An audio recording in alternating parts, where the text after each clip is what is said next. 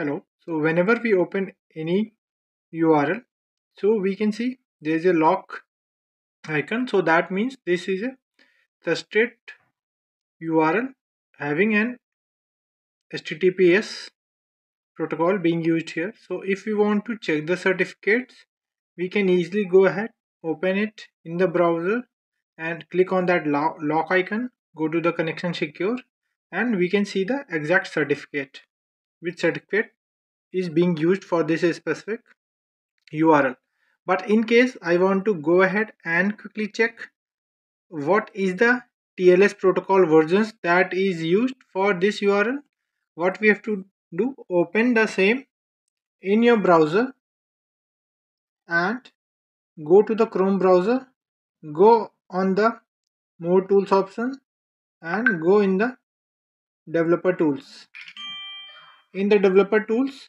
you can see a tab called a security tab. If you don't see this click here and you will see whichever tab you want to use. So i will go to security tab and from security tab we can go ahead and see the page whether the page is using which specific protocol. So right now this page is using the latest tls 1.3 protocol. So tls is an advance or a successor of our ssl protocols that are used earlier